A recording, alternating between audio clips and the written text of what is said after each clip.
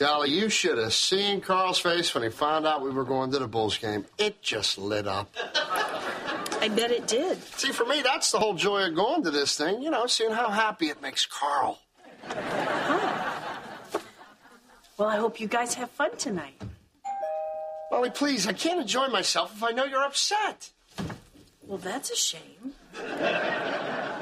You know what? Forget it. I'm going to tell those guys to go on without me. If that's what you want to do. It's not what I want to do. I want to go to the game, and I want you to say it's okay so I can get drunk, have a good time, and not worry about coming home to that face right there.